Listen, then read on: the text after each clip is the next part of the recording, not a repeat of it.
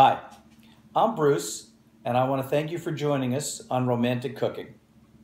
This is going to be a series that's going to give you some information, fun facts and recipes, and ideas all relating to romance cooking, and hopefully you'll lose, use this information in your everyday life to make your life more enjoyable and more enjoyable for your significant other. Now, we are just winging it as we go here. There's no real script, there's no real rehearsing. What we did was I wrote down some ideas here uh, on the paper that I'm going to read to you, and then we're going to go into the kitchen and cook some great food. So let me get started here.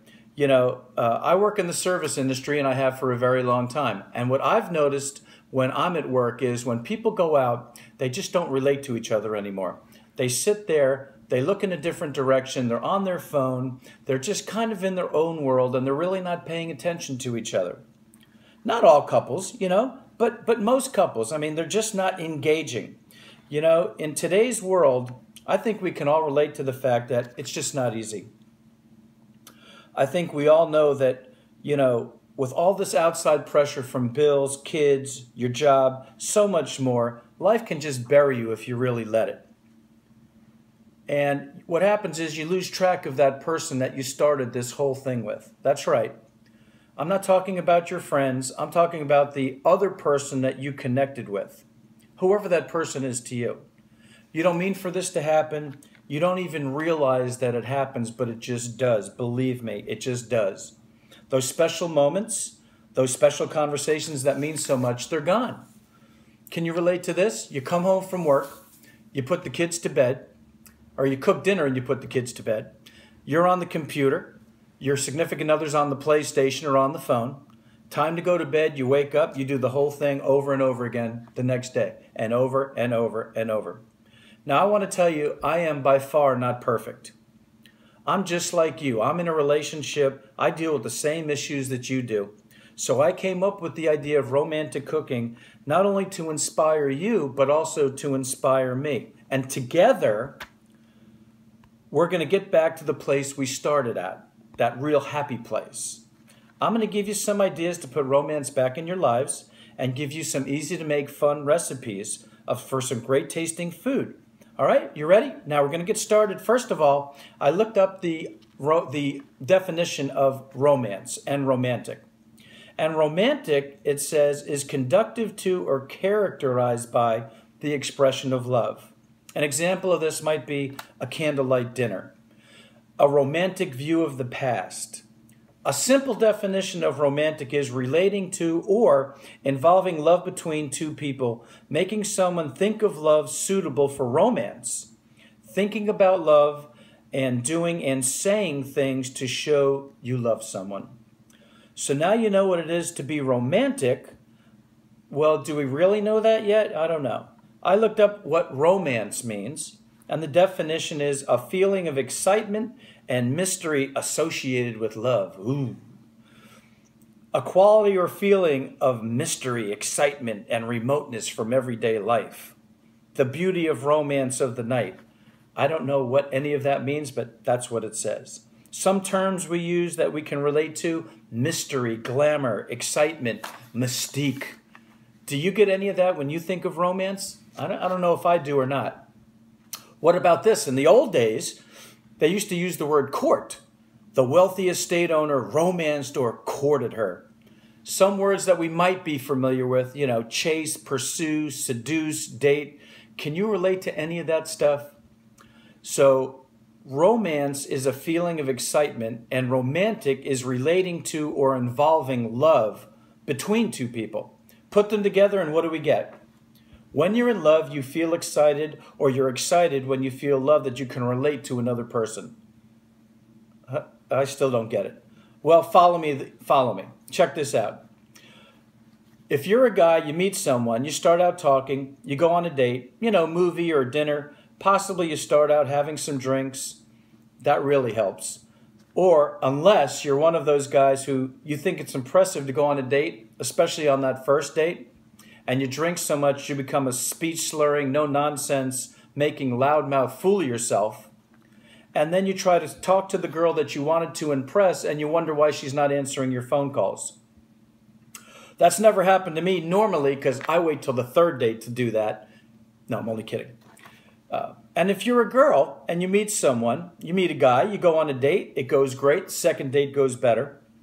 And then for some unknown reason, some out of this world reason that nobody can explain, you say something like, I've really thought about us moving in together. Or on the second date, you said, You know, I think I'm falling in love with you. And you wonder why the guy never calls you back. Now, maybe these things have worked for you. Some maybe if they've worked for some people, and that's okay, but keep watching. Because if you're in a relationship and you're not getting those goodbye hugs in the morning, or you don't hear any more I love yous, or there's no more kisses goodbye in the morning, keep watching. We're going to touch on all these things during romantic our romantic cooking series. So before we get started in the kitchen, I want to give you some fun facts about romance and being romantic. Romantic fact number 1. Hugs can make you live longer. Did you know that? So get more hugs in your life. Hugs that last 20 seconds or more can lower your heart rate. Romantic fact number 2. Love can make you measurably more trusting. Romantic fact number three men fall in love faster than women. I'm not too sure about that one. We're going to have to research that one a little more. And lastly, I thought this one was really interesting. The initial attraction isn't everything. A survey of 5,000 men and women said that they fell in love with people they didn't feel attracted to. They said attraction came after engaging in conversation and shared interest. So that means guys learn how to talk to women a little nicer. Maybe they'll like you no matter what you look like. Uh, a couple more facts. The oldest love song was written over 4,000 years ago. That's pretty, pretty, pretty cool. And uh, the last one is oh, I thought this was pretty funny. A man, a man's beard grows faster when he's anticipating fooling around with his girlfriend or wife. Now, I'm going to give you a word of advice. Women, if you wake up in the morning and you see your man shaving, and he comes home at 5 o'clock and he has a full beard, watch out. So we're going to head into the kitchen right now. So I'm going to have our camera person, who's my lovely daughter, pan over into the kitchen as I get up. Pan over into the kitchen. We're in the kitchen. I have my cooking attire on.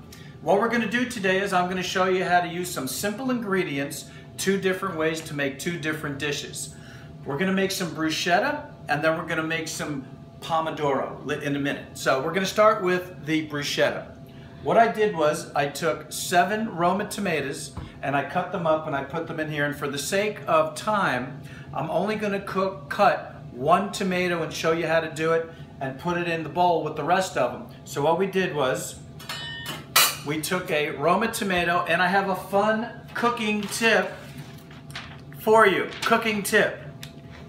When you're cooking peppers, cutting peppers or tomatoes, you want to use a serrated knife. It cuts them a lot easier. So what we're going to do, come over here and get a close-up of this.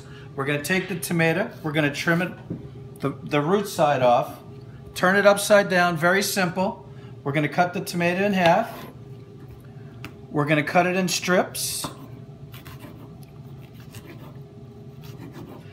And then we're gonna just cut it in pieces and you wanna make sure the pieces aren't too big because you want it to fit on the bread. And you wanna tuck those fingers in. Here we go again. We're gonna cut it in strips. I'm gonna, I'll get one more in there. Turn it, watch your fingers. Cut it in small pieces. All right, we have our tomato pieces. This little tool right here, great little tool in the kitchen. It's like a little scraper Boom, into the pan we go. Now we're gonna take some fresh basil or basil, depending on how you pronounce it. I say basil. Oops. And we're gonna take a couple pieces. Now you gotta get in close again on this one. We're gonna take our basil and we're just gonna roll it up like so. And then we're just gonna cut our little chiffonade again with our little serrated knife. And we're gonna take our basil throw it in there. I've already put a clove and a half of garlic in there. I'm gonna do one piece of cheese for you. We're gonna take our mozzarella, or mozzarella, as they say on TV, and we're gonna cut a piece out. So here's our mozzarella cheese. We're to slice it up, cut it into little pieces. Again, we're to cut it into pieces small enough to fit on the bread. All right. Okay. So we're to put it in there. Oh, where's our little, little scraper at? All right. We're to mix it together. And so now our bruschetta is almost ready to go. I did one other thing here. Come into the kitchen here. Come with me. This is some balsamic vinegar, about a cup and a half or so that we added a little bit of brown sugar to, and we cook it down until it's this thick, syrupy goodness. This is so sweet, and you don't have to use expensive balsamic vinegar. You can use any balsamic vinegar that you like. Cook it down till it's nice and thick. Now on our plate here, I have a little bit of, I used baguette bread, cut it into little pieces. What we're gonna do is we're gonna take our bruschetta, can you see this over here? We're gonna put it on our bread like so. Put it on our plate. Take our bread. We're gonna put it on our plate. We're gonna just do four of these for now. We're really cooking here put it on our plate. And the last one, put it on our plate. Now, we have our bruschetta on our plate, right?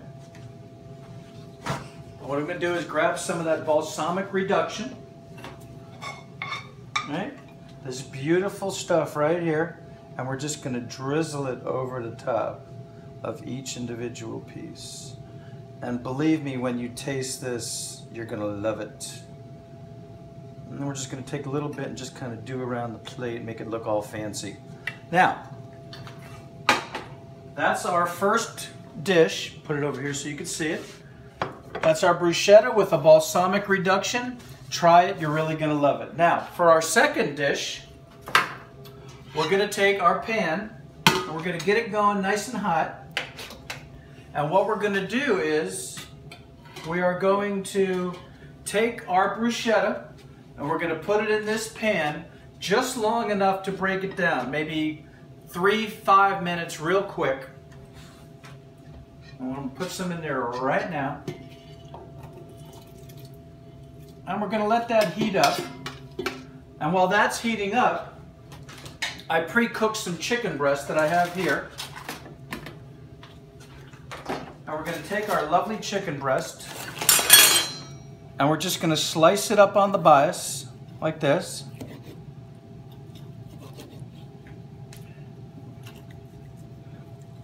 All right. There's our chicken.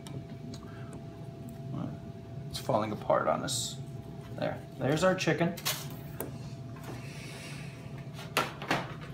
We're to take our Okay, so what I did was I took our bruschetta, I put it in the pan, I heated it up, I added some noodles, I used penne because my daughter happens to love penne, and then I plated it over here with our chicken, and then again, we're just gonna take our little balsamic reduction because this stuff is really, really good, and we're just gonna drizzle it over and around the plate, and that's how we're gonna finish our dish. So here, we're gonna bring them to the table,